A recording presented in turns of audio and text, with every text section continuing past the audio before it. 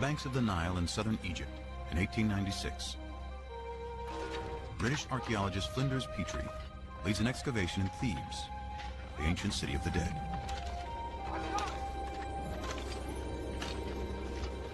Here, he unearths one of the most important discoveries in biblical archaeology.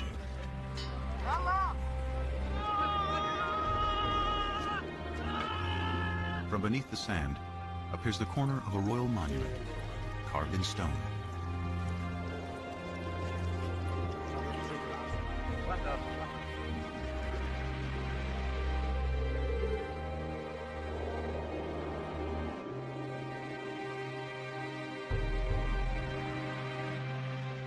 Dedicated in honor of Pharaoh Merneptah, son of Ramses the Great, it became known as the Merneptah Stela. Today, it is in the Cairo Museum. This stela is what the Egyptians would have called a triumph stela, a victory stela, commemorating victory over foreign peoples. Most of the hieroglyphic inscription celebrates Merneptah's triumph over Libya, his enemy to the west. But almost as an afterthought, he mentions his conquest of people to the east in just two lines. The text reads, Ashkelon has been brought captive. Gezer has been taken captive. Yanoam in the North Jordan Valley has been seized. Israel has been shorn. Its seed no longer exists. History proves the Pharaoh's confident boast to be wrong. Rather than marking their annihilation, Merneptah's stela announces the entrance onto the world stage of a people named Israel. This is priceless evidence for the presence of an ethnical group called Israel in the central highlands of southern Canaan. The well-established Egyptian chronology gives the date as 1208 BC. Merneptah's stela is powerful evidence that a people called the Israelites are living in Canaan, in what today includes Israel and Palestine over 3,000 years ago.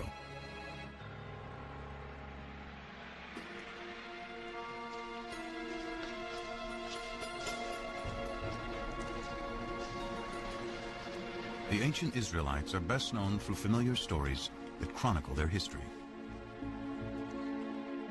Abraham and Isaac, Moses and the Ten Commandments, David and Goliath,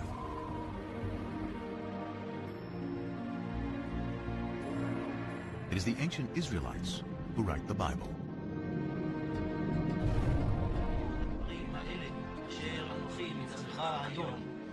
Through writing the Hebrew Bible, the beliefs of the ancient Israelites survived to become Judaism, one of the world's oldest continuously practiced religions. And it is the Jews who give the world an astounding legacy, the belief in one God.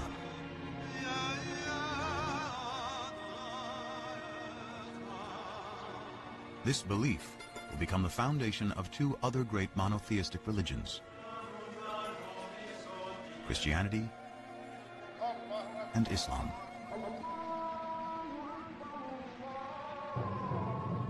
Often called the Old Testament to distinguish it from the New Testament, which describes the events of early Christianity, today the Hebrew Bible and a belief in one God are woven into the very fabric of world culture.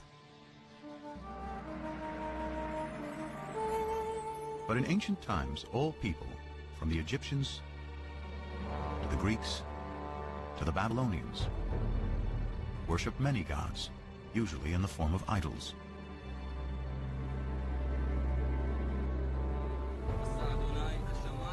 How did the Israelites, alone among ancient peoples, discover the concept of one God? How did they come up with an idea that so profoundly changed the world? Now, archaeologists and biblical scholars are arriving at a new synthesis that promises to reveal not only fresh historical insights, but a deeper meaning of what the authors of the Bible wanted to convey. They start by digging into the earth and the Bible. You cannot afford to ignore biblical text, especially if you can isolate a kind of kernel of truth behind these stories, and then you have the archaeological data. Now, what happens when text and artifacts seem to point in the same direction? then I think we're on a very sound ground historically.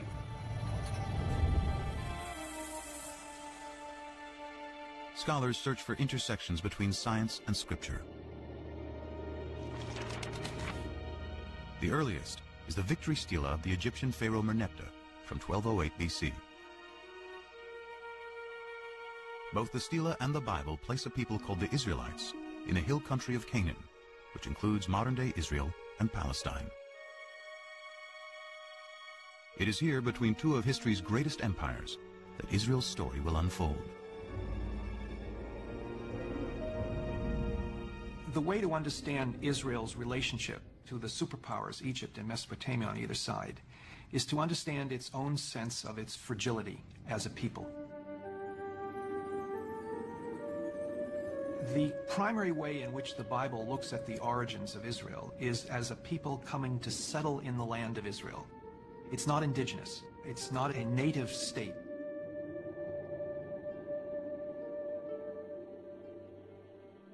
The Hebrew Bible is full of stories of Israel's origins. The first is Abraham, who leaves Mesopotamia with his family and journeys to the Promised Land, Canaan. The Lord said to Abraham, Go forth from your native land and from your father's house to the land that I will show you. I will make of you a great nation, and I will bless you. I will make your name great. Genesis 12, 1 and 2. According to the Bible, this promise establishes the covenant, a sacred contract between God and Abraham. To mark the covenant, Abraham and all males are circumcised. His descendants will be God's chosen people. They will be fruitful, multiply, and inhabit all the land between Egypt and Mesopotamia. In return, Abraham and his people, who will become the Israelites, must worship a single God.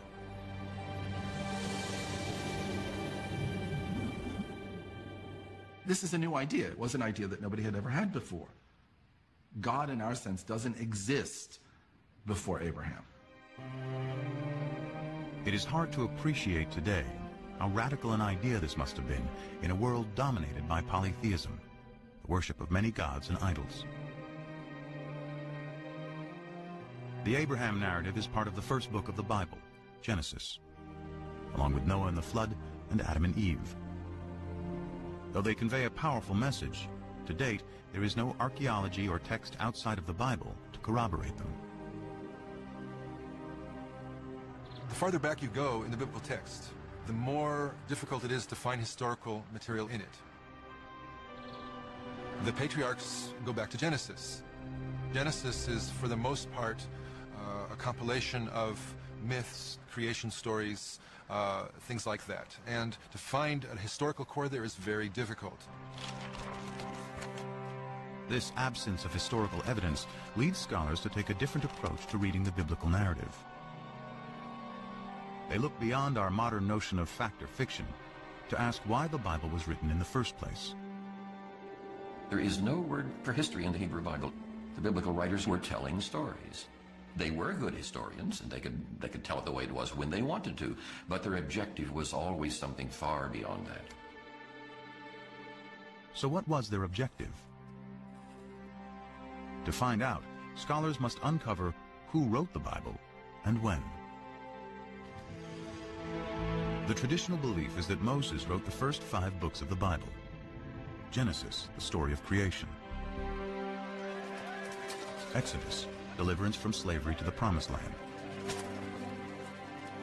Leviticus, Numbers, and Deuteronomy, laws of morality and observance. Still read to this day, together they form the Torah, often called the Five Books of Moses. The view that Moses had personally written down, first five books of the Bible, was virtually unchallenged until the 17th century. There were a few questions raised about this. For example, the very end of the last book of the Torah, the book of Deuteronomy, describes the death and burial of Moses. And so some rabbis said, well, Moses couldn't have written those words himself because he was dead and was being buried. And digging deeper into the text, there are even more discrepancies. For example, how many of each species of animal is Noah supposed to bring into the ark? One text says two, a pair of every kind of animal. Another text says seven pair of the clean animals and only two of the unclean animals. In one chapter, the Bible says the flood lasts for 40 days and 40 nights. But in the next, it says 150 days. To see if the floodwaters have subsided, Noah sends out a dove. But in the previous sentence, he sends a raven.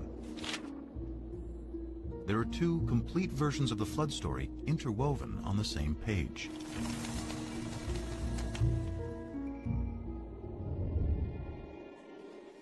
Many similar discrepancies throughout its pages suggest that the Bible has more than one writer. In fact, within the first five books of the Bible, scholars have identified the hand of at least four different groups of scribes, writing over several hundred years. This theory is called the documentary hypothesis. One way of thinking about it is as a kind of anthology that was made over the course of many centuries by different people adding to it, subtracting from it, and so forth. But when did the process of writing the Bible begin?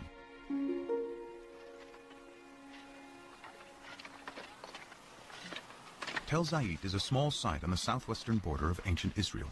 It dates back to biblical times. Since 1999, Ron Tappy has been excavating here. As I was taking aerial photographs from the cherry picker, a volunteer notified his square supervisor that he thought he had seen some interesting marks, scratches, possibly letters, uh, incised in a stone. Tappy excavated the rock and brought it back to his lab at the nearby kibbutz. It was only then that he realized he had more than a simple inscription. Dalet. I realized that this inscription represented an abecedary, that is to say, not a text narrative, but the letters of the Semitic alphabet written out in their correct order. Nun and then Pei and Ayin are difficult to read, but they're out here. This ancient script is an early form of the Hebrew alphabet. What was found was not a random scratching of two or three letters. It was, it was the full alphabet. Everything about it says that this is the ancestor of the Hebrew script. The Tel Zayit Abecedary is the earliest Hebrew alphabet ever discovered. It dates to about 1000 BC, making it possible that writing the Hebrew Bible could have already started by this time. To discover the most ancient text in the Bible, scholars examine the Hebrew spelling, grammar, and vocabulary. The Hebrew Bible is a collection of literature written over about a thousand years. And as with any other language, Hebrew naturally changed quite a bit over those thousand years. The same would be true of English. I'm speaking English of the 21st century, and if I were living in Elizabethan times, the words I choose, the syntax I use would be quite different. Scholars examine the Bible in its original Hebrew in search of the most archaic language, and therefore the oldest passages. They find it in Exodus, the second book of the Bible. Pharaoh's chariots and his army he cast into the sea. His picked officers are drowned in the Red Sea. Exodus 15:4. This passage, known as the Song of the Sea, is the climactic scene of Exodus, the story of the Israelites' enslavement in Egypt and how Moses leads them to freedom. In all of the Bible, no single event is mentioned more times than the Exodus. With the development of ancient Hebrew script, the Song of the Sea could have been written by 1000 BC, the time of Tappy's alphabet. But it was probably recited as a poem long before the beginning of Hebrew writing. It's very likely that it was a kind of story told in poetic form that you might tell around the campfire. Just as our poems are easier to remember generally than prose accounts. So we, we generally think that the, uh, the poetry is uh, orally passed on from one to another long before they commit things to writing. Because the poetry in Exodus is so ancient, is it possible the story has some historical core?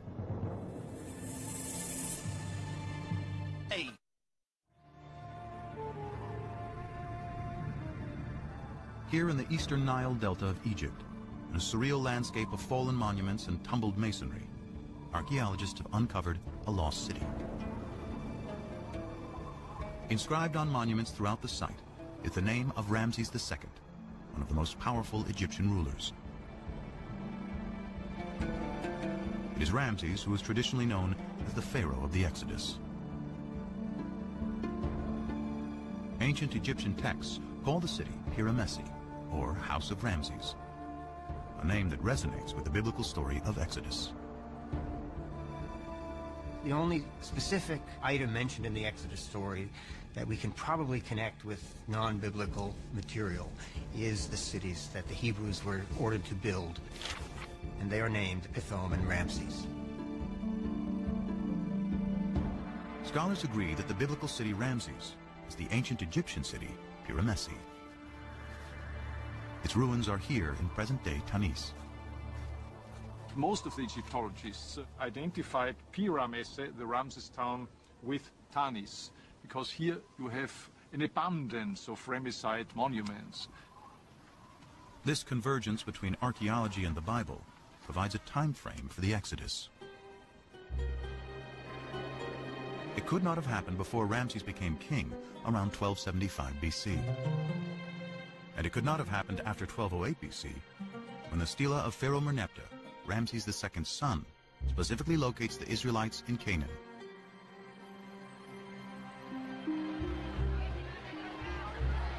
The Bible says the Israelites leave Egypt in a mass migration, 600,000 men and their families, and then wander in the desert for 40 years. But even assuming the Bible is exaggerating, in a hundred years of searching, archaeologists have not yet found evidence of migration that can be linked to the Exodus. No excavated site gives us any information about the route of the wandering through the wilderness. An exodus is, is simply not attested anywhere. Any historical or archaeological confirmation of the Exodus remains elusive. Yet scholars have discovered that all four groups of biblical writers contributed to some part of the Exodus story. Perhaps it is for the same reason its message remains powerful to this day. Its inspiring theme of freedom. Freedom is a compelling notion, and that is one of the ways that we can understand the story of the Exodus from being controlled by others to controlling oneself. The idea of a change from domination to autonomy. That these are very powerful ideas that resonate in the human spirit. And the Exodus gives narrative reality to those ideas.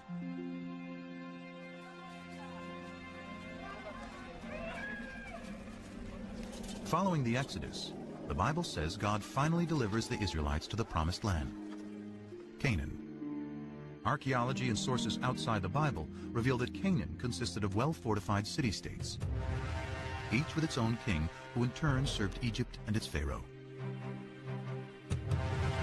The Canaanites, a thriving Near Eastern culture for thousands of years, worshipped many gods in the form of idols.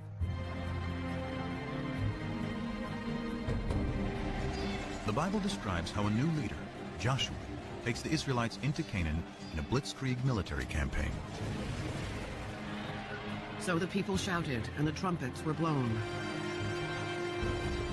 As soon as the people heard the sound of the trumpets, they raised a great shout, and the wall fell down flat. Joshua 6:20. But what does archaeology say? In the 1930s, British archaeologist John Garstang excavated at Jericho, the first Canaanite city in Joshua's campaign. Garstang uncovered dramatic evidence of destruction and declared he had found the very walls that Joshua had brought tumbling down.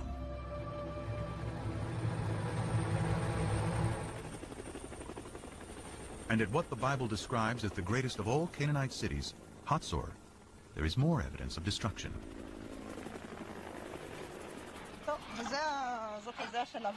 Today, Hatzor is being excavated by one of the leading Israeli archaeologists, Amnon Ben-Tor, and his protege and co-director, Sharon Zuckerman.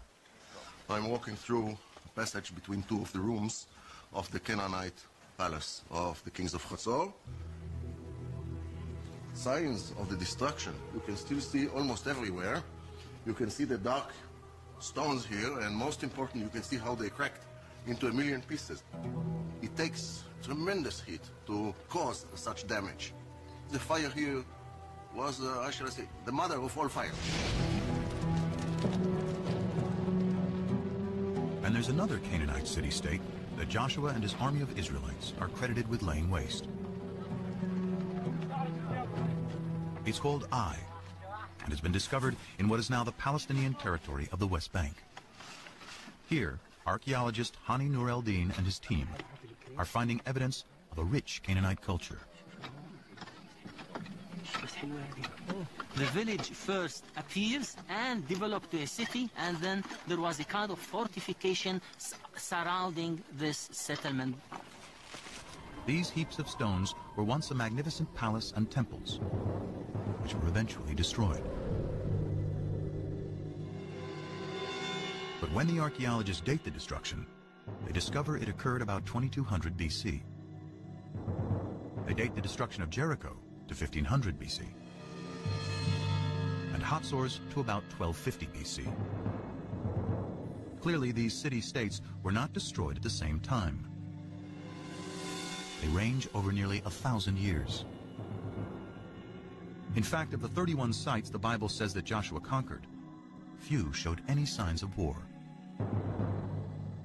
There was no evidence of armed conflict in most of these sites. At the same time, it was discovered that most of the large Canaanite towns that were supposed to have been destroyed by these Israelites were either not destroyed at all or destroyed by others. A single sweeping military invasion led by Joshua cannot account for how the Israelites arrived in Canaan.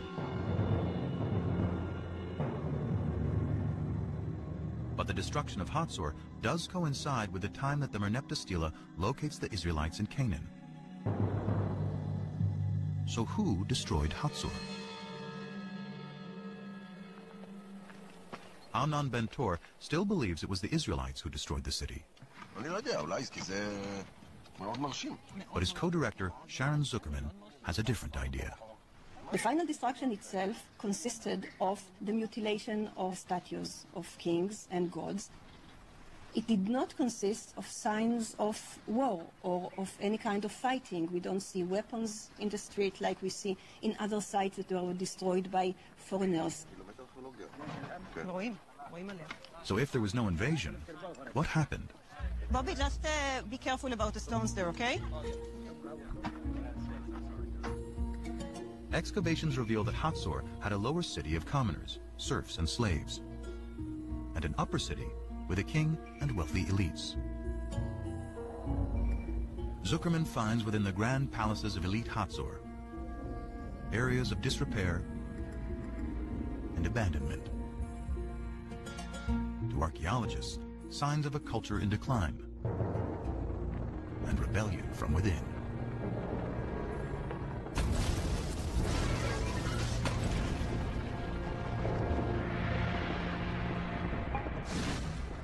Not rule out the possibility of an internal revolt of Canaanites living at Chatzor and uh, revolting against the elites that uh, rule the city.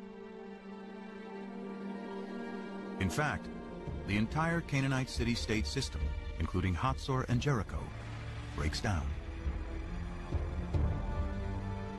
Archaeology and ancient texts clearly show that it is the result of a long period of decline and upheaval that sweeps through Mesopotamia, the Aegean region, and the Egyptian Empire around 1200 BC.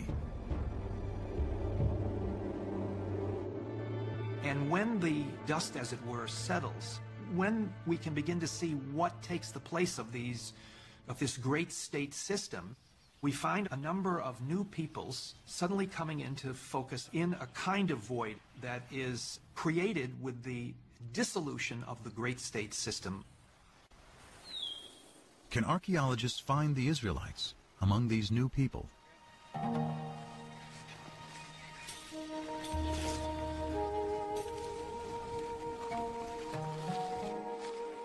In the 1970s, archaeologists started wide-ranging surveys throughout the central hill country of Canaan.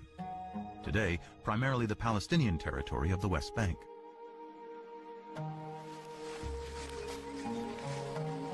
I was teaching at that time. We used to take students and go twice a week to the highlands. And every day we used to cover between two and three square kilometers. And uh, this uh, accumulates very slowly into the coverage of the entire area.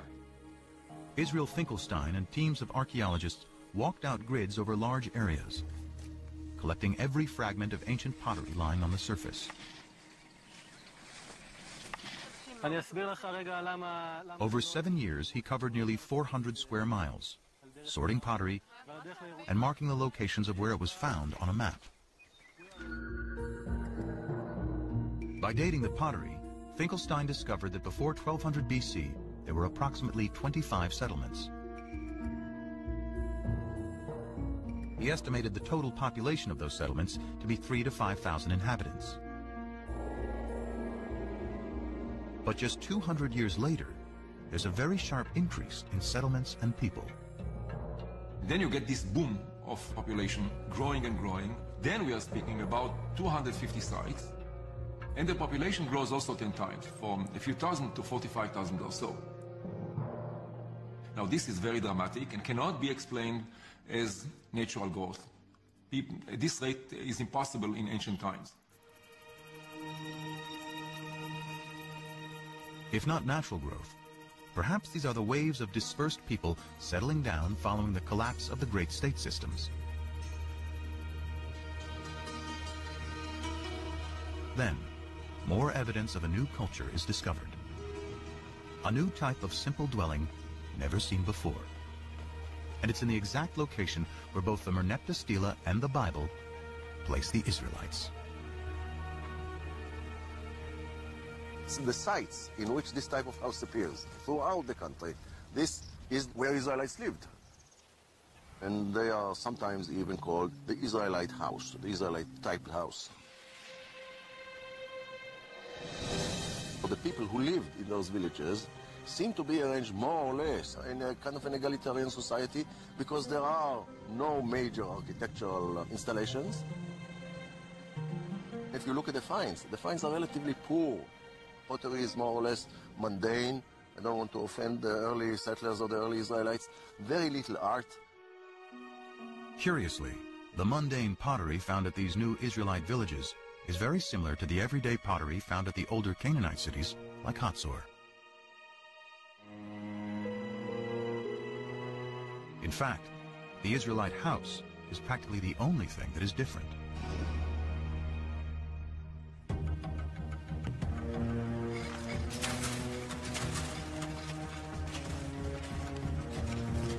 This broad similarity is leading archaeologists to a startling new conclusion about the origins of the ancient Israelites. The notion is that most of the early Israelites were originally Canaanites, displaced Canaanites. The Israelites were always in the land of Israel. They were natives, but they were different kinds of groups. They were basically the have-nots. So what we're dealing with is a movement of peoples, but not an invasion of armed hordes from outside but rather a social and economic revolution. Ancient texts describe how the Egyptian rulers and their Canaanite vassal kings burdened the lower classes of Canaan with taxes and even slavery. A radical new theory based on archaeology suggests what happens next. As that oppressive social system declines, families and tribes of serfs, slaves, and common Canaanites seize the opportunity In search of a better way of life, they abandon the old city-states and head for the hills. Free from the oppression of their past, they eventually emerge in a new place as a new people. The Israelites. In the text, you have a story of the Israelites coming from outside and then besieging uh, the Canaanite cities, destroying them, and then becoming a nation uh, in the land of Canaan. seven shards from the Middle Bronze Age. Whereas archaeology tells us something which is the opposite. The Bronze Age. According to archaeology, the rise of early Israel is an outcome of the collapse of Canaanite society, not the reason for that collapse. Archaeology reveals that the Israelites were themselves originally Canaanites. So why does the Bible consistently cast the Israelites as outsiders in Canaan?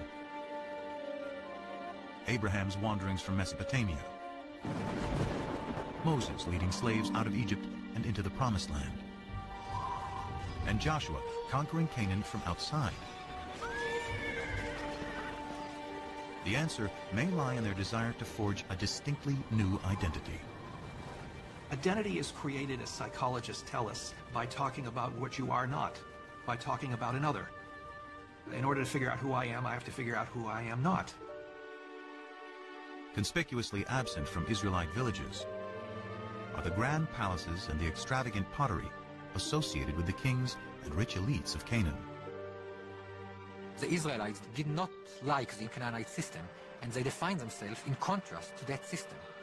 So by not using decorated pottery, by not using important pottery, they developed an ideology of simplicity, which marked the difference between them and the Egyptian Canaanite system. If the Israelites wanted to distinguish themselves from their Canaanite past, what better way than to create a story about destroying them?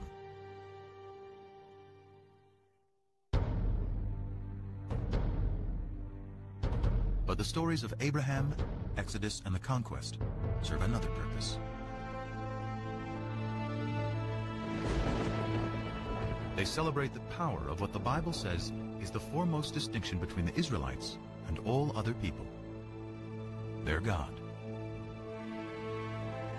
In later Judaism, the name of God is considered so sacred it is never to be spoken. We don't know exactly what it means. We don't know how it was pronounced. But it seems to have been the personal name of the God of Israel. So his title, in a sense, was God, and his name was these four letters, which in English would be YHWH, which we think were probably pronounced something like Yahweh. But Yahweh only appears in the Hebrew Bible. His name is nowhere to be found in Canaanite texts or stories. So where do the Israelites find their God?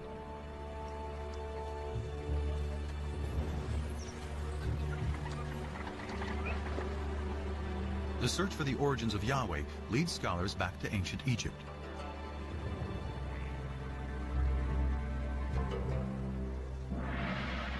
Here in the royal city of Karnak, for over a thousand years, pharaohs celebrated their power with statues, obelisks, and carved murals on temple walls. Here on the north wall of the Karnak, we have scenes depicting the victories in battle of Seti I, the father of Ramses the Great. Seti here commemorates one of his greatest victories over the Shasu. The Shasu were a people who lived in the deserts of southern Canaan, now Jordan and northern Saudi Arabia, at around the same time as the Israelites emerged. Egyptian texts say one of the places where the Shasu lived is called YHW, probably pronounced Yahu, likely the name of their patron god. That name Yahu is strangely similar to Yahweh, the name of the Israelite god.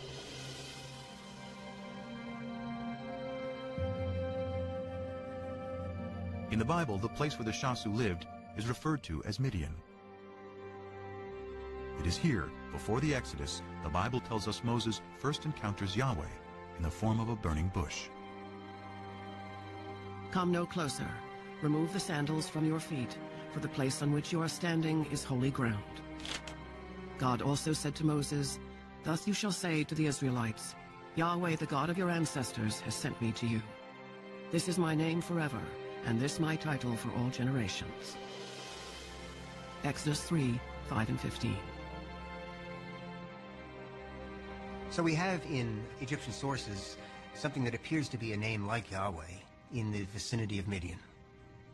Here is Moses in Midian, and there a deity appears to him and reveals his name to Moses as Yahweh.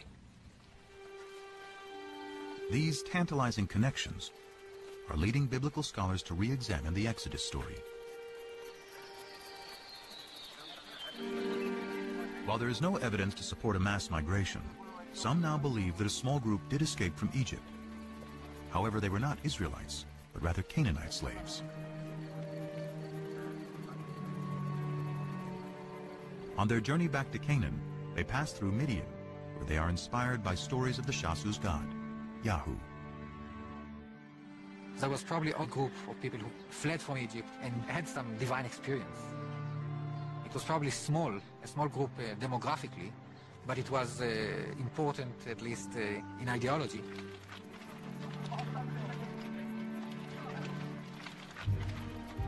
They find their way to the central hill country, where they encounter the tribes who had fled the Canaanite city-states.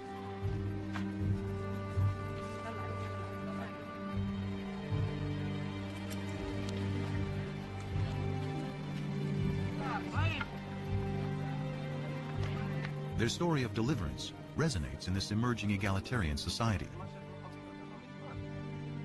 The liberated slaves attribute their freedom to the God they met in Midian, who they now call Yahweh.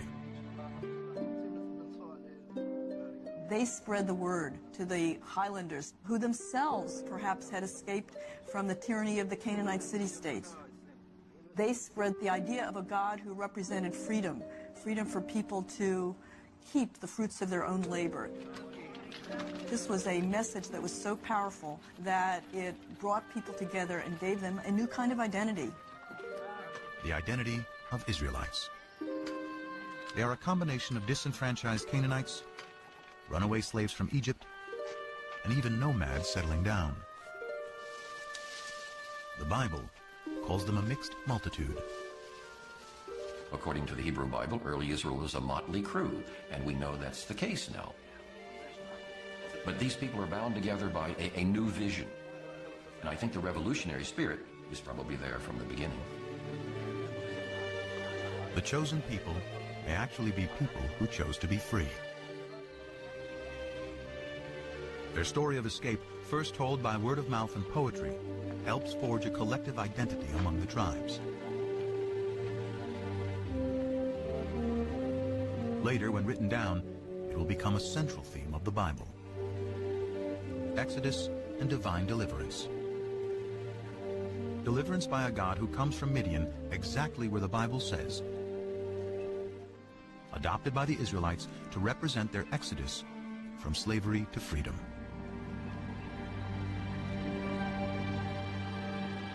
So is this the birth of monotheism? Common understanding of what differentiated the ancient Israelites from their neighbors was that their neighbors worshipped many different gods and goddesses, and the Israelites worshipped only the one true God. But that is not the case. This bull figurine, likely representing El, the chief god of the Canaanite deities, is one of thousands of idols discovered in Israelite sites.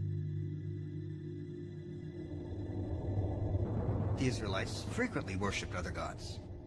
Now, maybe they weren't supposed to, but they did. So at least on a practical level, many, if not most Israelites were not monotheists. The Bible's ideal of the Israelite worship of one God will have to wait.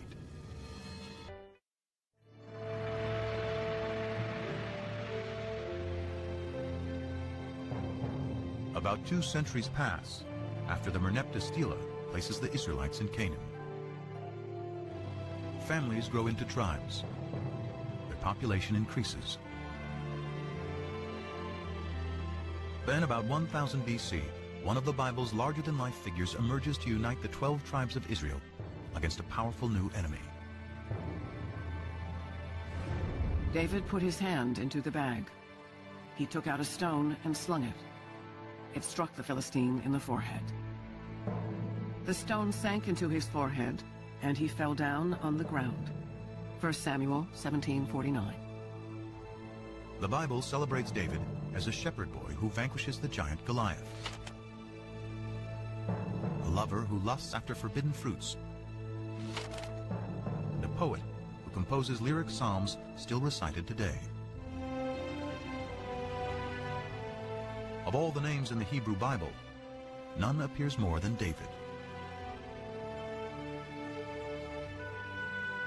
Scriptures say David creates a kingdom that stretches from Egypt to Mesopotamia. He makes Jerusalem his royal capital. And in a new covenant, Yahweh promises that he and his descendants will rule forever. David's son Solomon builds the temple where Yahweh, now the national God of Israel, will dwell for eternity.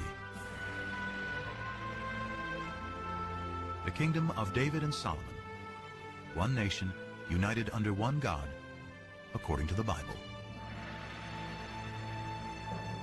Now, some skeptics today have argued there was no such thing as a united monarchy. It's a later biblical construct, and particularly a construct of modern scholarship. In short, there was no David. As one of the biblical revisionists has said, David is no more historical than King Arthur. But then, in 1993, an amazing discovery literally shed new light what the Bible calls ancient Israel's greatest king. Gila Cook was finishing up some survey work with an assistant at Tel Dan, a biblical site in the far north of Israel today.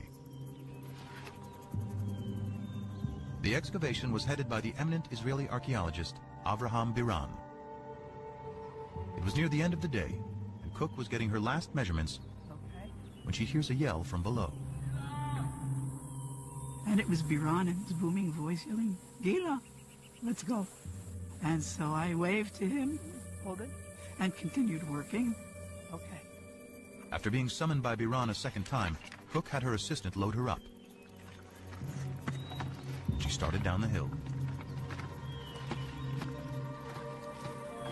So I get there and I just drop my bag and drop the board and I set my stuff down. But something catches her eye. A stone with what appeared to be random scratches, but was actually an ancient inscription. This time, she yelled for Biran. And he looks at it and he looks at me and he says, Oh my God. Cook had found a fragment of a victory stela, written in Aramaic, an ancient language very similar to Hebrew. Dedicated by the king of Damascus, or one of his generals, it celebrates the conquest of Israel, boasting, I slew mighty kings who harnessed thousands of chariots and thousands of horsemen. I killed the king of the house of David.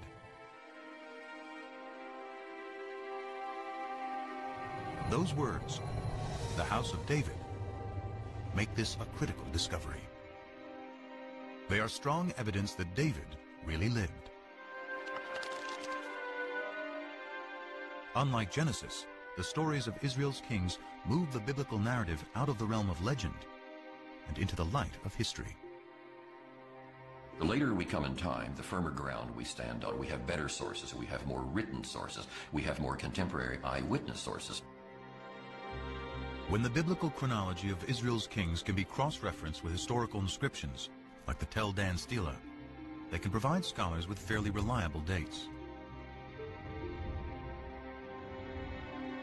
King David is the earliest biblical figure confirmed by archaeology to be historical. And most scholars agree he lived around 1000 BC, the 10th century. Could any of the Bible have been written during David's reign? The earliest Hebrew alphabet, discovered by Ron Tappy, carved on a stone at Tel Zayit, provides an enticing clue.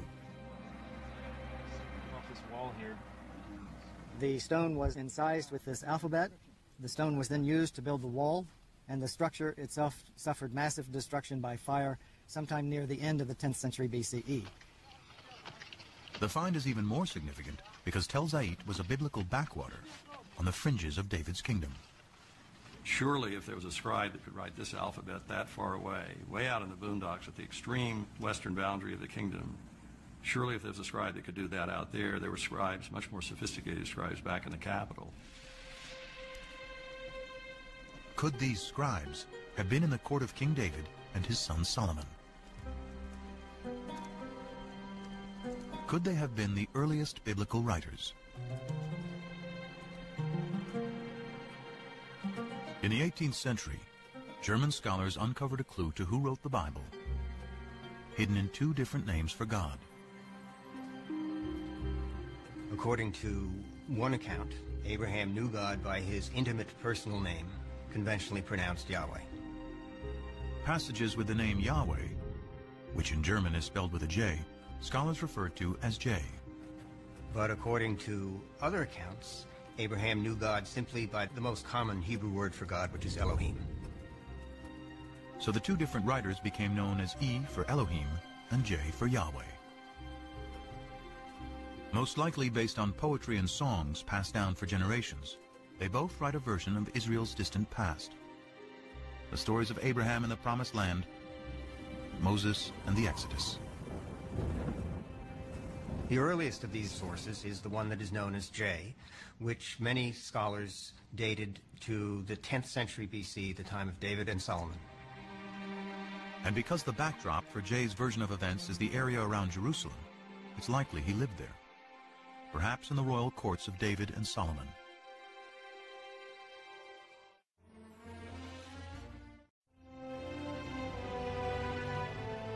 Of all the names in the Hebrew Bible, none appears more than David. Scriptures say David creates a kingdom that stretches from Egypt to Mesopotamia. He makes Jerusalem his royal capital. And in a new covenant, Yahweh promises that he and his descendants will rule forever. David's son Solomon builds the temple where Yahweh, now the national God of Israel, will dwell for eternity. The kingdom of David and Solomon, one nation united under one God, according to the Bible.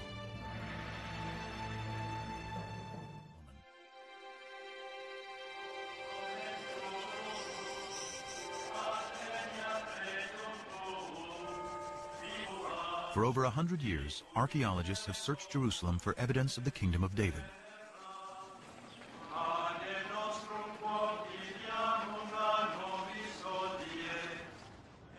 But excavating here is contentious, because Jerusalem is sacred to today's three monotheistic religions.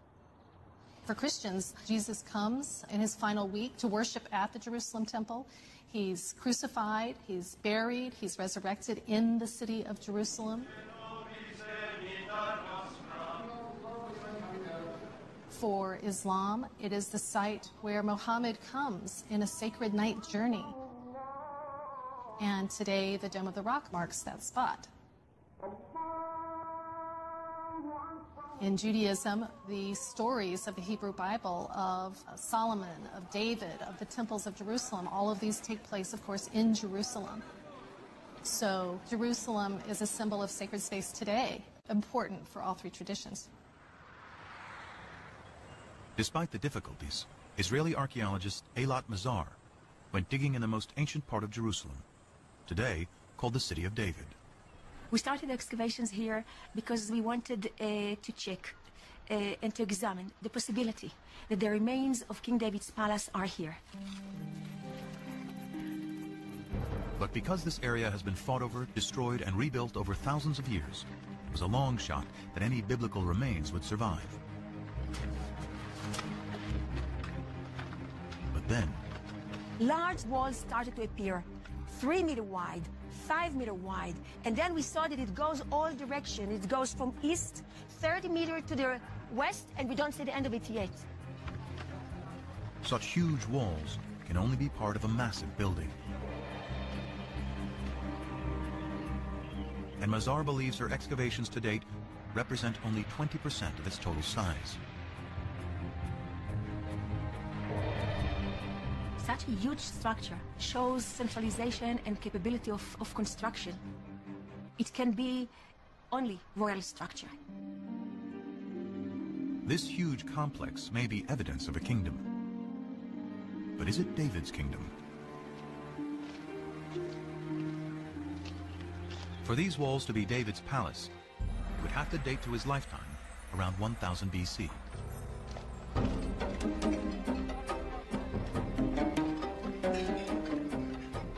Problem is stone walls can never be dated on their own. Biblical archaeologists date ruins based on the pottery they find associated with those ruins.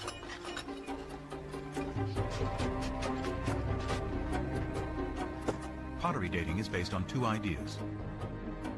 Pottery styles evolve uniformly over time. And the further down you dig, the further back in time you go. If pottery style A comes from the lowest stratum, then it is earlier than pottery style B that comes from the stratum above it. By analyzing pottery from well-stratified sites, excavators are able to create what they call a relative chronology. But this chronology is floating in time without any fixed dates. To anchor this chronology, William Foxwell Albright, considered the father of biblical archaeology, used events mentioned in both the Bible and Egyptian and Mesopotamian texts to assign dates to pottery styles. Albright's chronology, slightly modified, is what Mazar uses to date her massive building, and what most archaeologists use today. What we found is a typical 10th century pottery, meaning bowls with hand burnish. You can see from inside, together with an import, a beautiful black on red juglet. What is so important that this is a 10th century typical juglet. So has Mazar discovered the Palace of David? She adds up the evidence. The building is huge. It is located in a prominent place in the oldest part of Jerusalem. The pottery, according to Albright's chronology, dates to the 10th century BC, the time of David.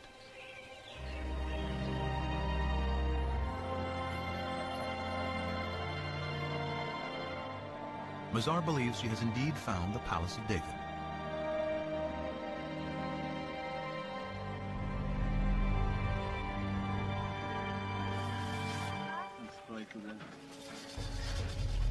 Evidence, and indeed the kingdom itself, rest on the dates associated with fragments of pottery. And some critics argue the system for dating that pottery relies too heavily on the Bible. Archaeologists in the past did not rely too heavily on the Bible. They relied only on the Bible. We have a problem in dating. How do you date in archaeology? You need an anchor from outside. Today, there is a more scientific method to anchor pottery to firm dates. Radiocarbon dating. It is a specialty of Elisabetta Boaretto of the Weizmann Institute. The first step is, of course, in the field, which relates the sample, the material like uh, olive pits uh, or seeds uh, or charcoal to the archaeological context. If an olive seed is found at the same layer as a piece of pottery, the carbon in the seed can be used to date the pottery. When the seed dies, its radioactive carbon-14 decays at a consistent rate over time. By measuring the ratio of carbon-14 to carbon-12, Boaretto can determine the age of the olive seed, which in turn can be used to date the pottery.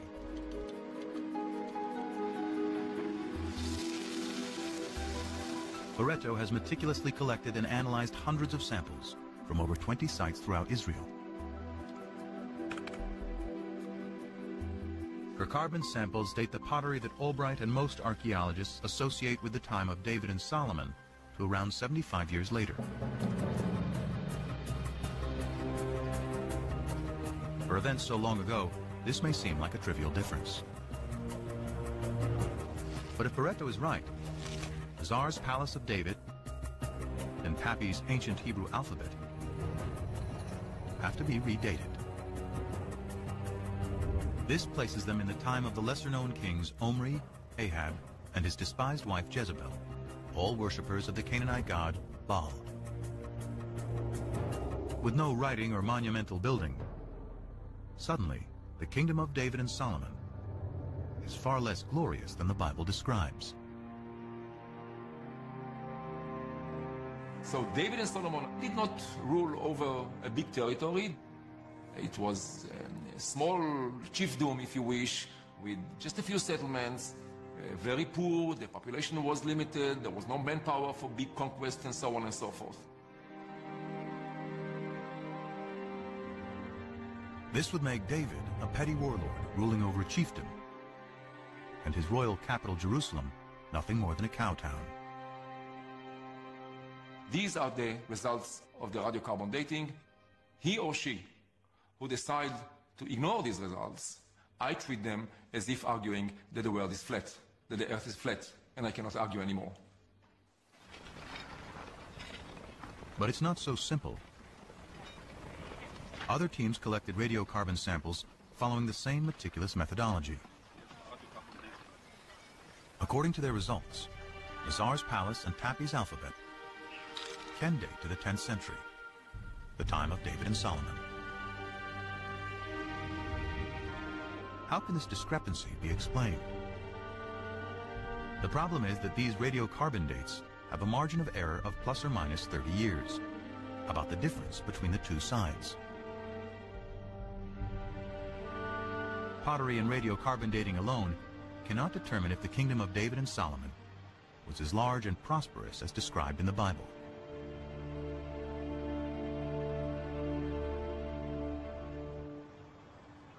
Fortunately, the Bible offers clues of other places to dig for evidence of this kingdom. The Bible credits David with conquering the kingdom. But it is Solomon, his son, who is the great builder. This was the purpose of the forced labor which Solomon imposed. It was to build the house of Yahweh and the wall of Jerusalem, Hatzor, Megiddo, and Gezer. 1 Kings 9:15.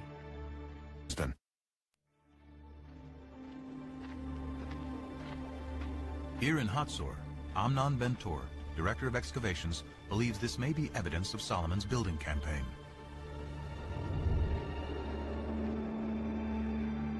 Archaeologists call it a six-chambered gate, a massive entryway fortified with towers and guardrooms. Ben-Tor's predecessor, Yigal Yadin, first uncovered this structure. It turned out to be a six-chambered gate, and uh, Yadin immediately remembered that a very, very similar gate was excavated at Gezer, and then Chicago University excavated this gate here at Megiddo. Stunned by the similarity of these three gates, Yadin recalled the passage in the Bible.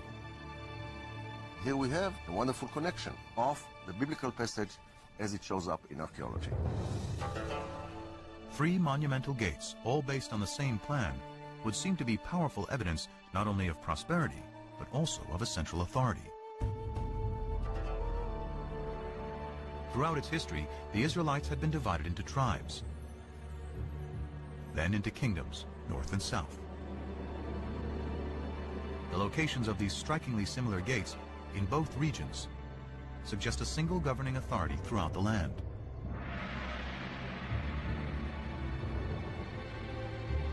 But how can we be sure this is the kingdom of David and Solomon?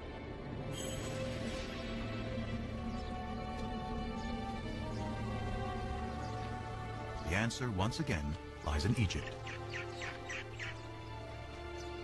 The head-smiting scene which you see on this wall commemorates a military campaign conducted by Pharaoh Shishak, or Sheshonk, the founder of Dynasty 22 in Egypt. The Egyptian pharaoh Shishak invades Israel, an event the Bible reports and specifically dates to five years after Solomon's death, during the reign of his son, Rehoboam. In the fifth year of King Rehoboam, King Shishak of Egypt marched against Jerusalem and carried off the treasures of the house of Yahweh and the treasures of the royal palace. He carried off everything. 1 Kings 14, 25 and 26. The importance of this in fixing one of the earliest dates, specific dates, in which Egyptian history coincides with biblical history is, is really startling and, and has to be taken note of. This stunning convergence between the Bible and Egyptian history gives a firm date for the death of Solomon. Shishak's campaign, according to the well-established Egyptian chronology, dates to 925 BC. And the Bible says Solomon dies five years earlier, which means 930 BC. This is further evidence that David and Solomon lived in the 10th century. But there's even more hidden in these walls.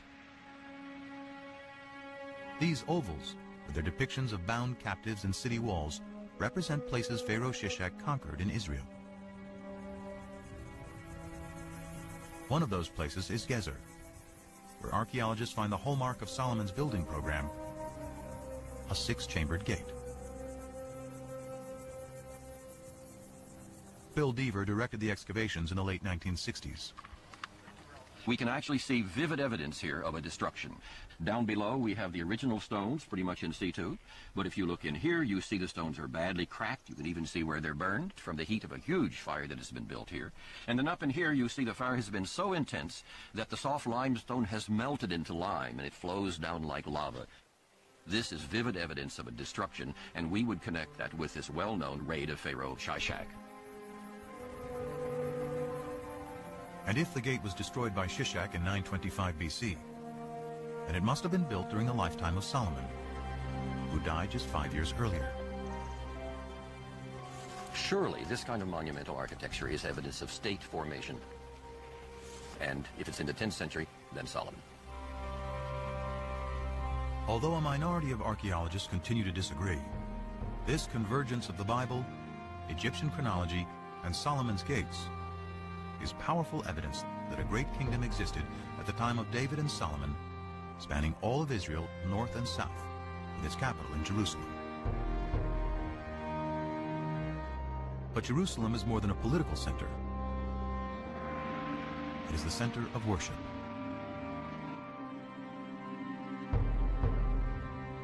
The magic of Jerusalem is the magic of the temple. One temple for the one God. The result is that Jerusalem and the temple right emerge as powerful symbols not just of the oneness of God, but also of the oneness of the Jewish people.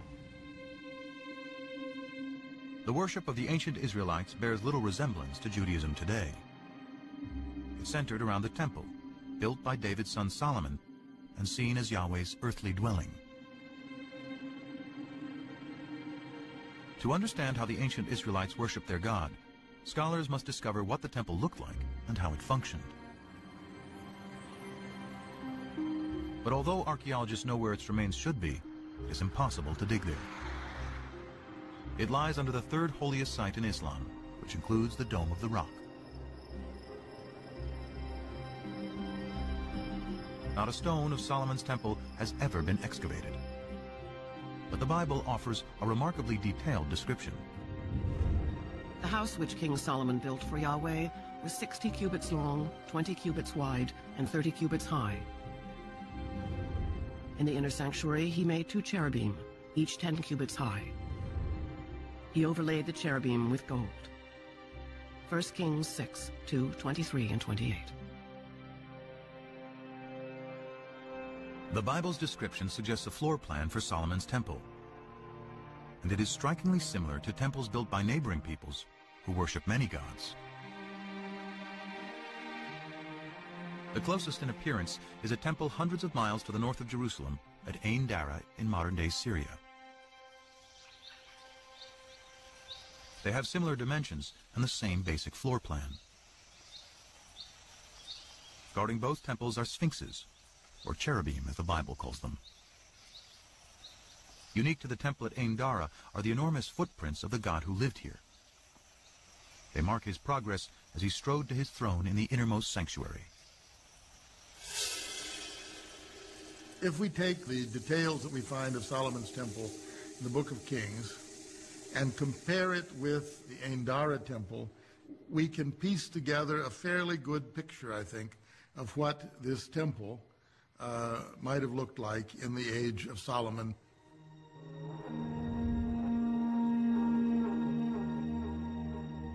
Now it is possible to reconstruct with some confidence how Solomon's temple may have looked and how the ancient Israelites worshiped their God. Out front was an enormous altar. Beyond that was a porch area that led into the inside of the temple. There was a room, the holy place. And then beyond that, the most sacred room, the Holy of Holies, where tradition says the Ark of the Covenant held the tablets of the law. And this room was considered to be the most sacred site on earth because it is the room where God's presence could be found. And the ancient Israelites believed their God demanded a very specific form of worship.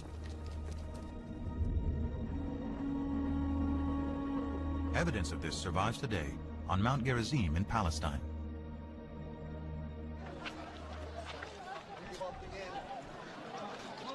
The Samaritans who live here claim direct descent from the ancient tribes of Israel.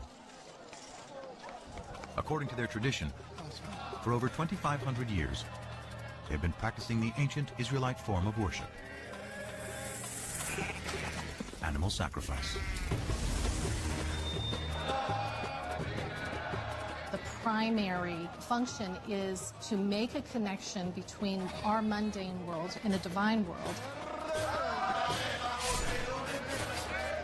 And the means for the ancient Israelites is embodied in blood. Blood is the most sacred substance on the altar. And blood is the substance that embodies life. So it is the most precious substance in the human world.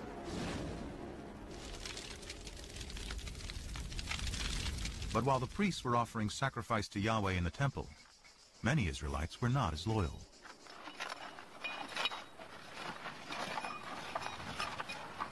At Tel Rehov, archaeologists are digging at an Israelite house that illuminates the religious practices of its ancient inhabitants.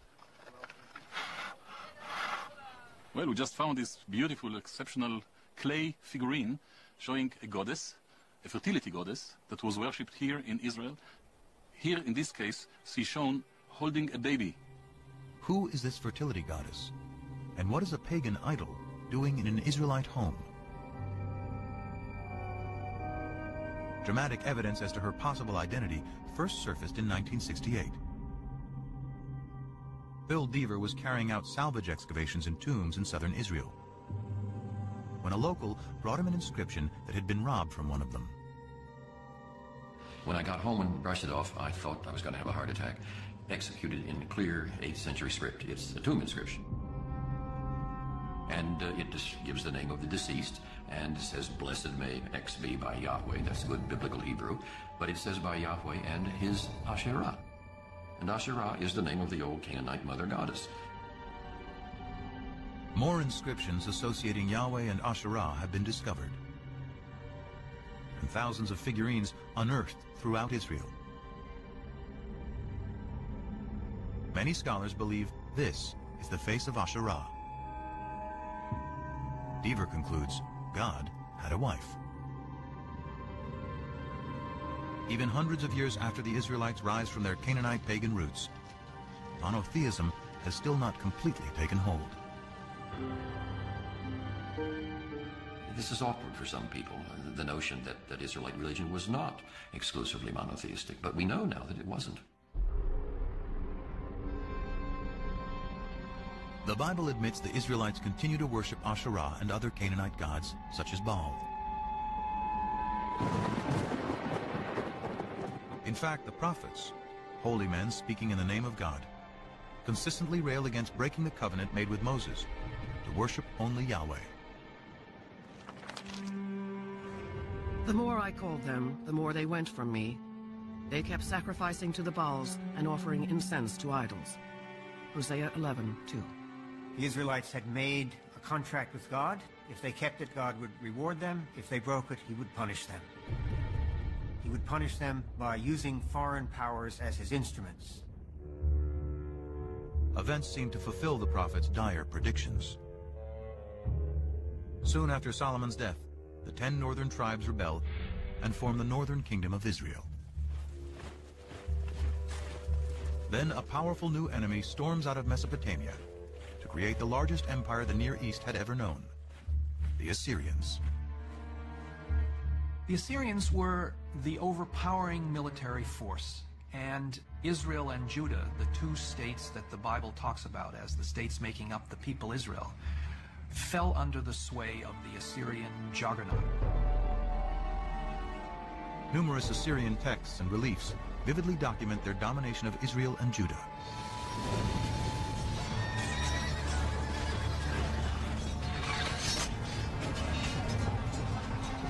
In 722 BC, the Assyrian army crushes the northern kingdom. Those who escape death or exile to Assyria flood south into Jerusalem, where the descendants of David and Solomon continue to reign. One of them, Josiah, according to the Bible, finally heeds what the prophets prescribe. We're told in the book of Kings that King Josiah in the late 7th century BC was told that a scroll had been discovered in the temple archives. The scroll was brought to him, and as the scroll was being read, Josiah began to weep because he realized that it was a sacred text containing divine commands which the people had been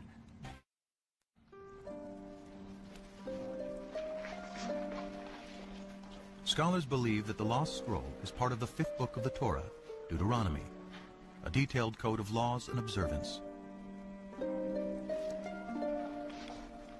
It inspires another group of scribes in the 7th century BC, whom scholars call the D writers.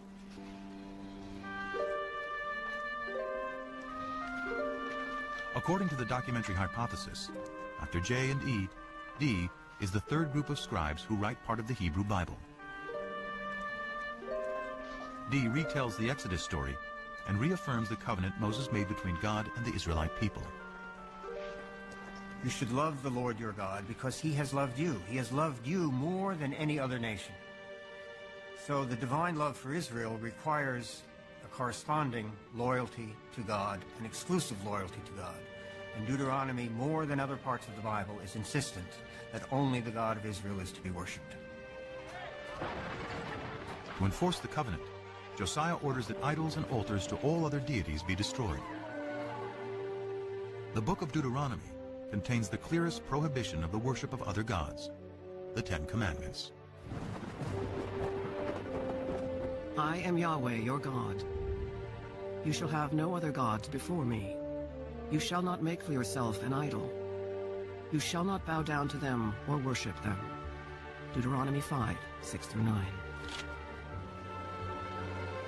The Ten Commandments appears in two books of the Bible, in Deuteronomy and in Exodus.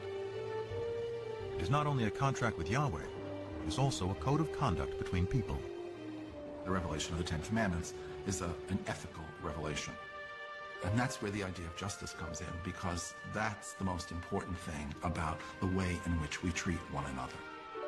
We will not kill him, we will not steal from him, and we will not lie about him we will abide by the commandments. The commandments, as God himself repeatedly says through the, the later prophets, are already written on the hearts of human beings. By associating the belief in one God with moral behavior, the Ten Commandments establishes a code of morality and justice for all, the ideal of Western civilization. Despite Josiah's reforms, the ancient Israelites continued to worship other gods. Their acceptance of one God and the triumph of monotheism begins with a series of events vividly attested through archaeology, ancient texts, and the Bible.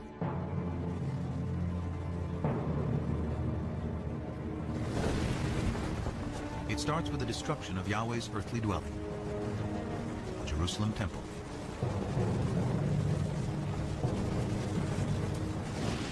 In 586 BC, after defeating the Assyrians, a new Mesopotamian empire invades Israel. The Babylonians ransack the temple and systematically burn the sacred city.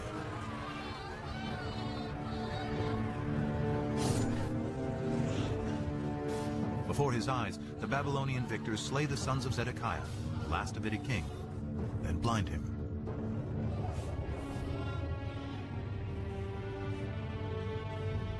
The covenant promise made by Yahweh to his chosen people and to David, that his dynasty would rule eternally in Jerusalem, is broken.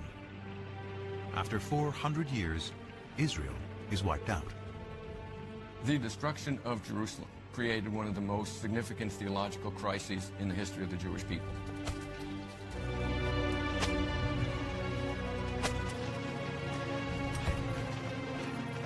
The Babylonians round up the Israelite priests, prophets, and scribes and drag them in chains to Babylon.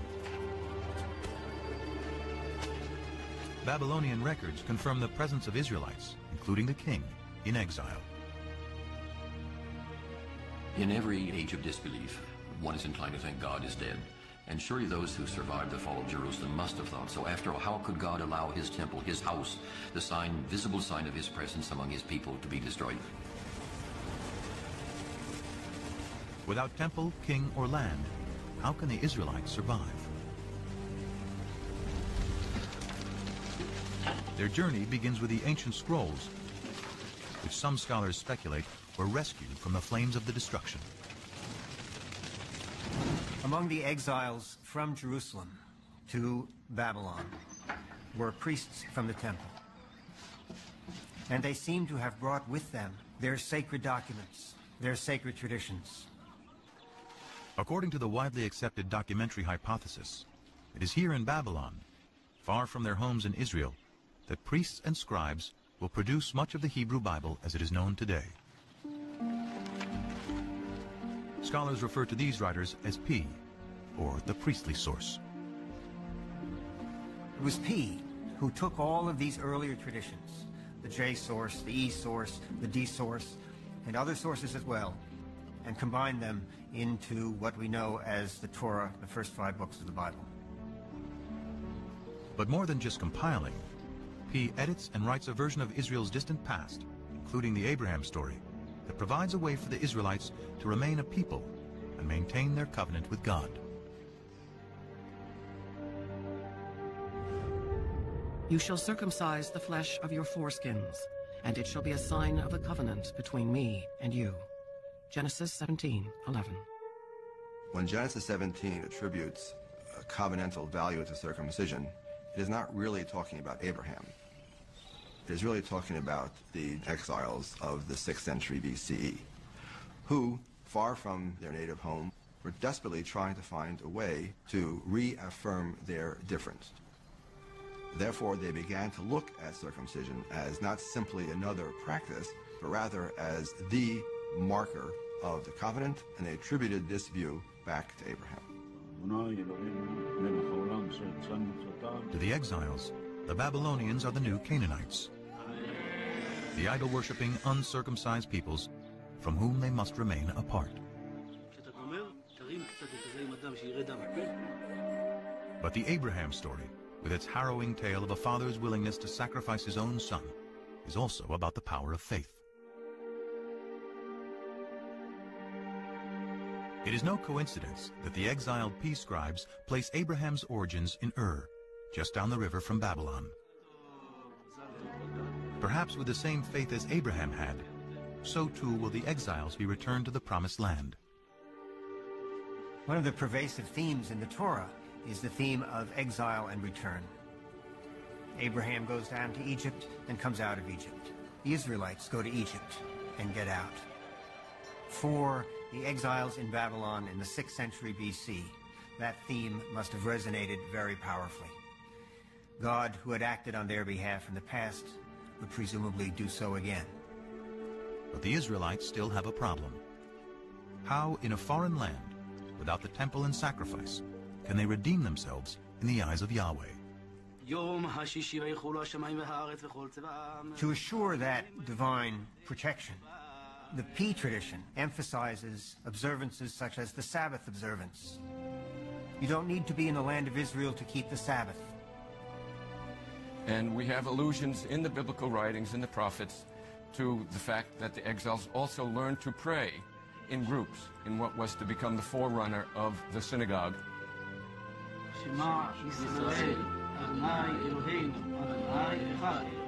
It is during this period, through the exile, that the exiles realized that even far away from their homeland, without a temple, without the priesthood, without kings, they're still able to worship God, be loyal to God, and to follow God's commandments. This is the foundation of Judaism. The experience of the exile transforms ancient Israelite cult into a modern religion. By compiling the stories of their past, originally written by the scribes J, E, and D, the Exodus, from slavery to freedom, Moses and the Ten Commandments, Abraham's journey to the Promised Land. He creates what we know today as the first five books of the Bible.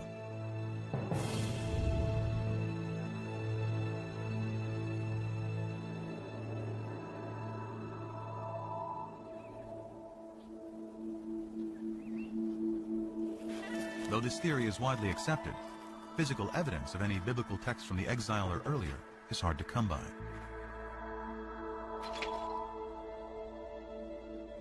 The most celebrated surviving biblical texts are the Dead Sea Scrolls.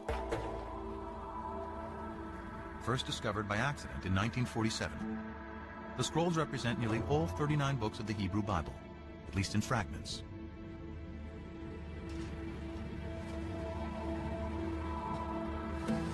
They survived because they were deposited in the perfect environment for preservation, the hot, dry desert. Archaeologists suspect there were at least hundreds more scrolls throughout Israel. But because they were written on papyrus or animal skins, they have long since decomposed. Even though the earliest of the Dead Sea Scrolls date to the 3rd and 2nd centuries BC, that doesn't mean that they're the first copies or examples of this work that were ever written, it means that they already stand in a line of tradition that had been established uh, by the time the scrolls were written. Still, the earliest of the Dead Sea Scrolls dates to at least 300 years after the Babylonian exile. In the absence of proof of earlier text, some scholars claim the entire Bible is pious fiction, even doubt whether Israel and the Israelites ever existed. For many of the revisionists, these extreme skeptics, there was no ancient Israel. Israel is an intellectual construct. In other words, these people were not rethinking their past, they were inventing their past. They had no past. So the Bible is a myth, a foundation myth, told to legitimate a people who had no legitimacy. The legitimacy of the Israelite past hinges on finding a piece of evidence to prove the ancient origins of the Bible. What would be the discovery of a lifetime starts outside the walls of Jerusalem in an old cemetery. We came here and excavated seven of these burial caves. Uh, the burial caves date back to the 7th century BC, somewhere around the time of King Josiah. But the caves were found looted, so we didn't anticipate too much. Gabriel Barkai instructed a 13-year-old volunteer to clean up a tomb for photographs. Instead of that, he was bored, he was alone, and he had a hammer, and he began banging on the floor. But the floor turned out to be a fallen ceiling. And beneath it were some artifacts that had escaped the looters. Among the hundreds of grave goods, one artifact stood out. It looked like a cigarette butt. It was cylindrical, about an inch in size, about half an inch in diameter, and it was very clear it is made of silver. It was some kind of a tiny scroll. A second, slightly smaller scroll was also found, and both were taken to the labs at the Israel Museum.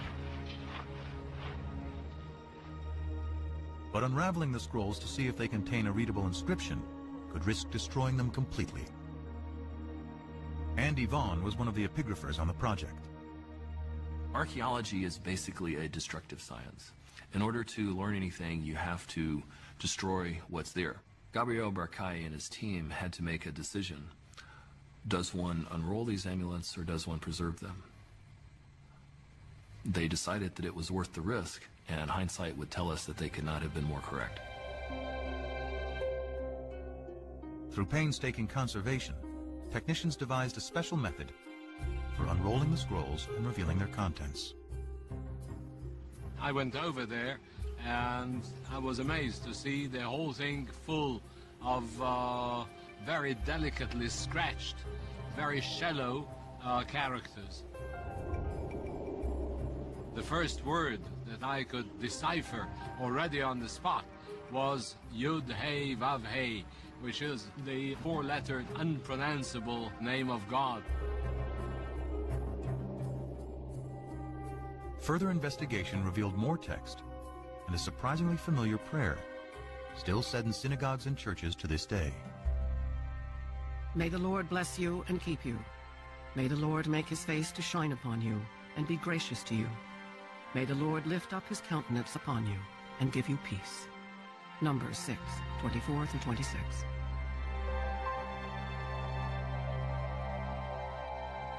There is no doubt at all that these two amulets contain the priestly benediction found in number 6.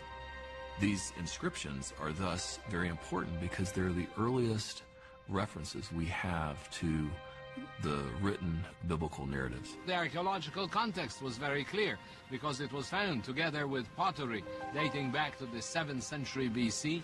Also, the paleography, the shape of letters, points towards uh, somewhere in the 7th century BC beyond any doubt. The Silver Scrolls, with a priestly benediction, predate the earliest Dead Sea Scrolls by 400 years. It is an amazing find, proving that at least some verses of the Bible were written in ancient times during the reign of King David's descendants.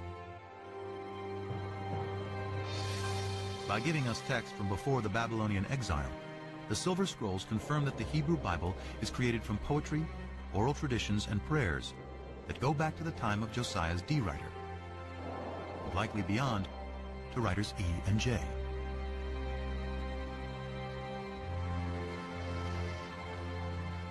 As modern scholars suspect, the Torah, the first five books of the Bible, takes its final form during the Babylonian exile.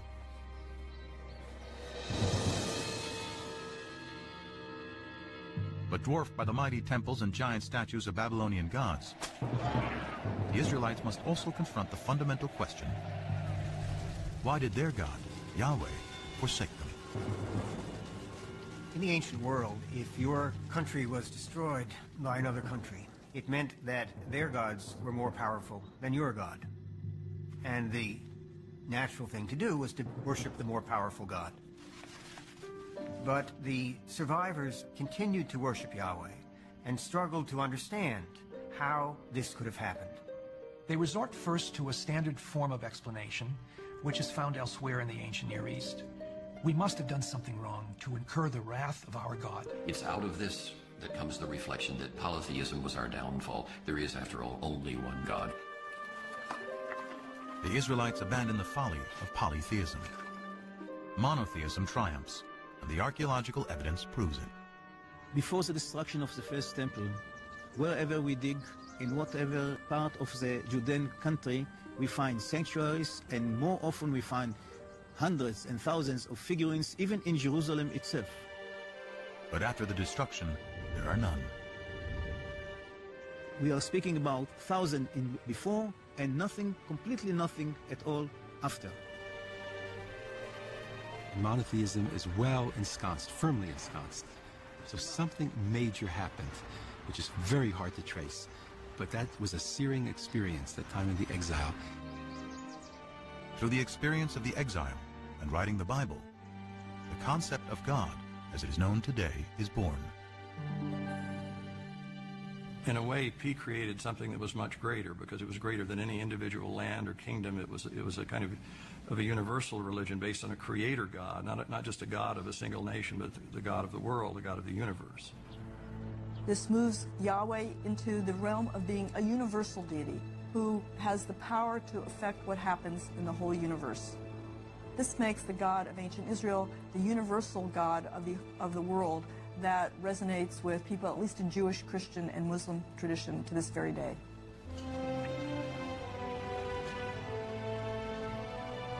In 539 BC, the Babylonian Empire is toppled by the Persians. As written in the Bible, Yahweh, in his new role as the one invisible God, orchestrates a new exodus.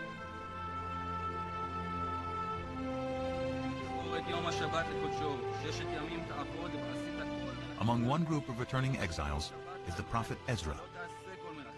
Back in Jerusalem, he gives a public reading of the newly written Torah to reestablish the covenant. All the people gathered together. They told the scribe Ezra to bring the book of the law of Moses, which the Lord had given to Israel. He read from it from early morning until midday, and the ears of all the people were attentive to the book of the law. Nehemiah 8, 1 through 3. To me, it's one of the most moving moments in the whole Bible. Ezra returns with the Bible in his hands, so we have the feeling that the process begun in the exile is finally finished, and Ezra has a copy. The scrolls that chronicle the Israelites' relationship with their God is now the Hebrew Bible, the Old Testament, a sacred text for over 3 billion people. Through its writing, an ancient cult becomes a modern religion. The Israelite deity Yahweh transforms into the God of the three great monotheistic religions.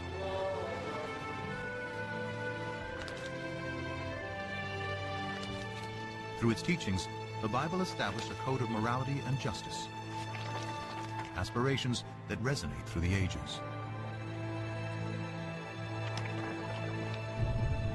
More than fact or fiction, at the intersection of science and scriptures is a story that began over 3,000 years ago and continues to this day.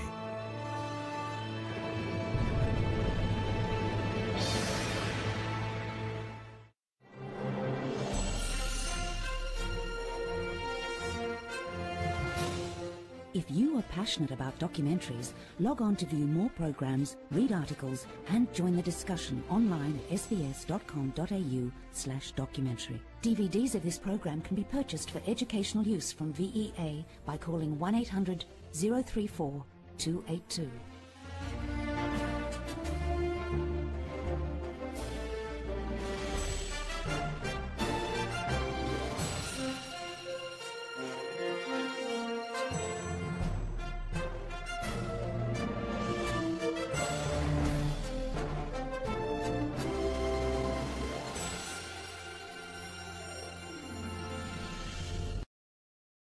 Israelites rise from their Canaanite pagan roots.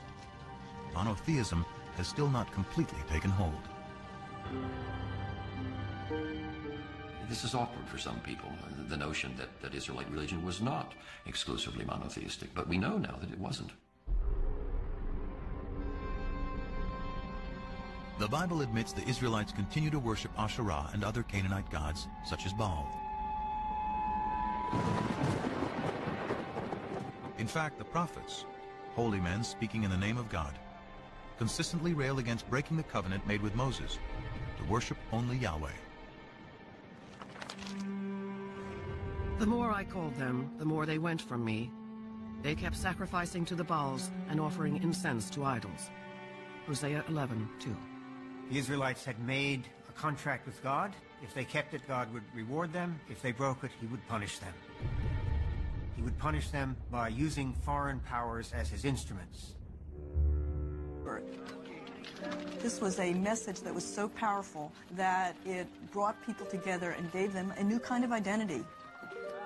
The identity of Israelites. They are a combination of disenfranchised Canaanites, runaway slaves from Egypt, and even nomads settling down. The Bible calls them a mixed multitude. According to the Hebrew Bible, early Israel was a motley crew, and we know that's the case now. But these people are bound together by a, a new vision. And I think the revolutionary spirit is probably there from the beginning. The chosen people may actually be people who chose to be free. Their story of escape, first told by word of mouth and poetry, helps forge a collective identity among the tribes. Later, when written down, it will become a central theme of the Bible. Exodus and divine deliverance. Deliverance by a God who comes from Midian, the ratio of carbon-14 to carbon-12, Boaretto can determine the age of the olive seed, which in turn can be used to date the pottery.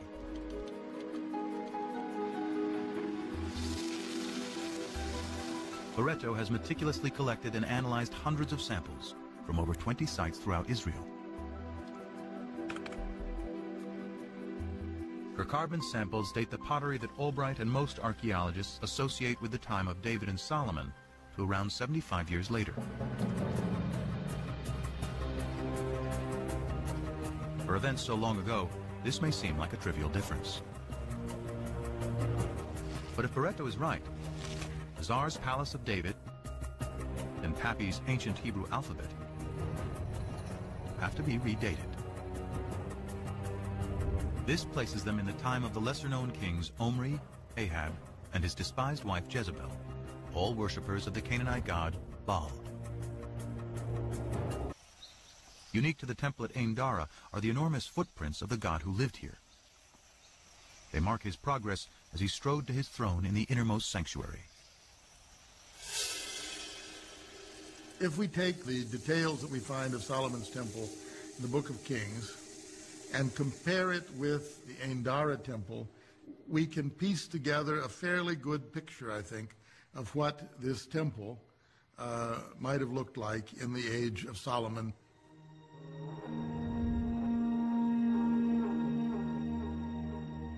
Now it is possible to reconstruct with some confidence how Solomon's temple may have looked and how the ancient Israelites worshiped their God.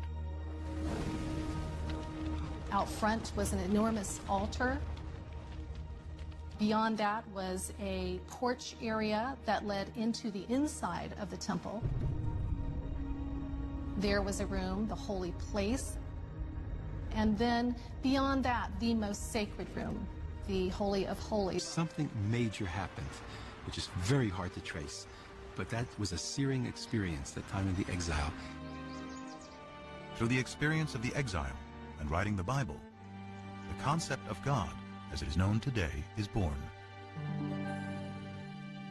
In a way, P created something that was much greater because it was greater than any individual land or kingdom. It was it was a kind of of a universal religion based on a creator God, not a, not just a God of a single nation, but the God of the world, the God of the universe.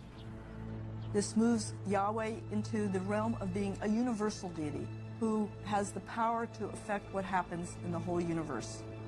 This makes the God of ancient Israel the universal God of the, of the world that resonates with people, at least in Jewish, Christian, and Muslim tradition to this very day.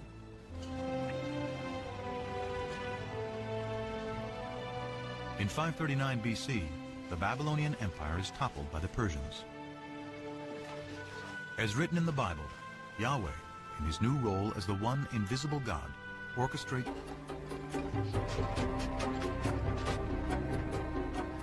Pottery dating is based on two ideas. Pottery styles evolve uniformly over time. And the further down you dig, the further back in time you go. If pottery style A comes from the lowest stratum, then it is earlier than pottery style B that comes from the stratum above it.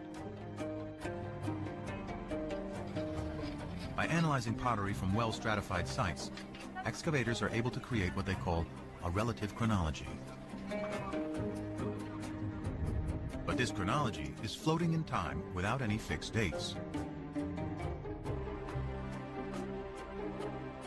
To anchor this chronology, William Foxwell Albright, considered the father of biblical archaeology, used events mentioned in both the Bible and Egyptian and Mesopotamian texts to assign dates to pottery styles.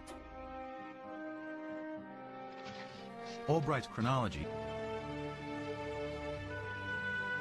Scriptures say David creates a kingdom that stretches from Egypt to Mesopotamia. He makes Jerusalem his royal capital. And in a new covenant, Yahweh promises that he and his descendants will rule forever. David's son Solomon builds the temple where Yahweh, now the national God of Israel, will dwell for eternity.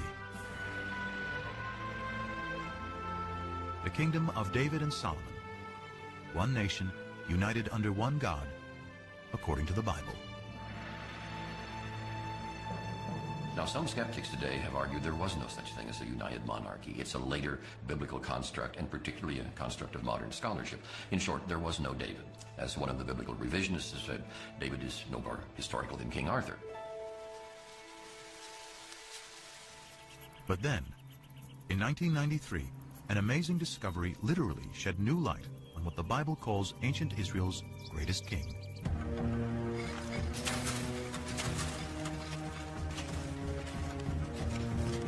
This broad similarity is leading archaeologists to a startling new conclusion about the origins of the ancient Israelites. The notion is that most of the early Israelites were originally Canaanites, displaced Canaanites. The Israelites were always in the land of Israel. They were natives, but they were different kinds of groups. They were basically the have-nots. So what we're dealing with is a movement of peoples, but not an invasion of armed hordes from outside, but rather a social and economic revolution. Ancient texts describe how the Egyptian rulers and their Canaanite vassal kings burdened the lower classes of Canaan with taxes and even slavery. A radical new theory based on archaeology suggests what happens next. As that oppressive social system declines, families and tribes of serfs, slaves, and common Canaanites seize the opportunity. In search of a better way of life, they abandon the old city-states and head for the hills. Free from the oppression of their past, they eventually emerge in a new place as a new people.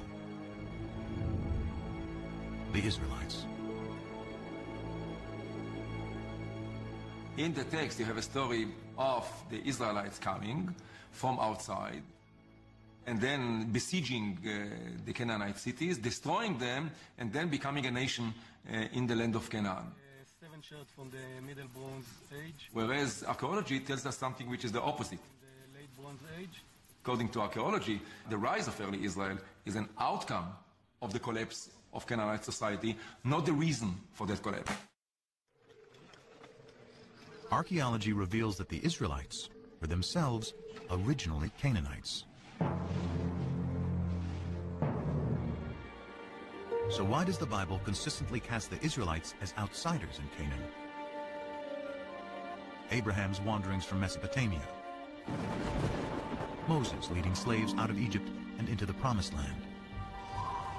And Joshua conquering Canaan from outside.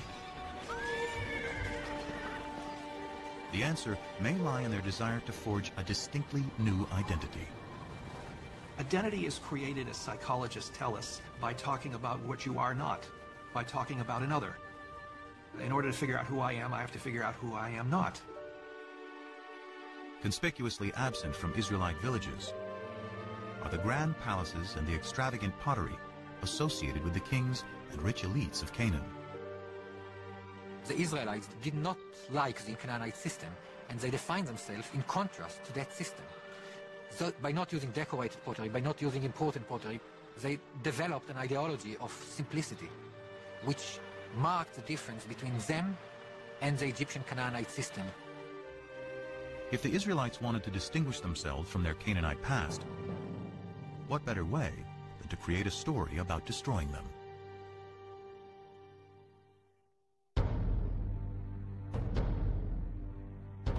But the stories of Abraham, Exodus, and the conquest serve another purpose. They celebrate the power of what the Bible says is the foremost distinction between the Israelites and all other people. Their God. In later Judaism, the name of God is considered so sacred it is never to be spoken. We don't know exactly what it means. We don't know how it was pronounced. But it seems to have been the personal name of the God of Israel. So his title, in a sense, was God, and his name was these four letters, which in English would be YHWH, which we think were probably pronounced something like Yahweh. But Yahweh only appears in the Hebrew Bible. His name is nowhere to be found in Canaanite texts or stories. So where do the Israelites find their God?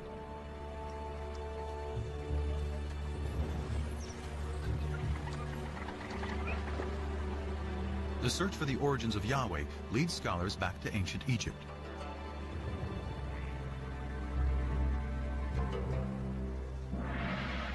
Here in the royal city of Karnak, for over a thousand years, pharaohs celebrated their power with statues, obelisks, and carved murals on temple walls.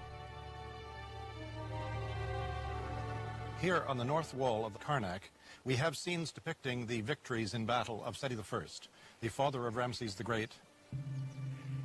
Seti here commemorates one of his greatest victories over the Shasu. The Shasu were a people who lived in the deserts of southern Canaan, now Jordan and northern Saudi Arabia, at around the same time as the Israelites emerged. Egyptian texts say one of the places where the Shasu lived is called YHW, probably pronounced Yahu, likely the name of their patron god. That name Yahu is strangely similar to Yahweh, the name of the Israelite god.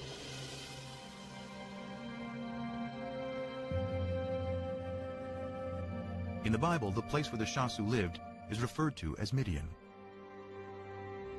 It is here, before the Exodus, the Bible tells us Moses first encounters Yahweh in the form of a burning bush. Come no closer. Remove the sandals from your feet, for the place on which you are standing is holy ground. God also said to Moses, Thus you shall say to the Israelites, Yahweh, the God of your ancestors, has sent me to you. This is my name forever, and this my title for all generations. Exodus 3, 5 and 15. So we have in Egyptian sources something that appears to be a name like Yahweh in the vicinity of Midian. Here is Moses in Midian, and there a deity appears to him and reveals his name to Moses as Yahweh. These tantalizing connections are leading biblical scholars to re-examine the Exodus story. While there is no evidence to support a mass migration, some now believe that a small group did escape from Egypt. However, they were not Israelites, but rather Canaanite slaves. On their journey back to Canaan, they pass through Midian, where they are inspired by stories of the Shasu's god, Yahu. There was probably a group of people who fled from Egypt and had some divine experience. It was probably small, a small group uh, demographically, but it was uh,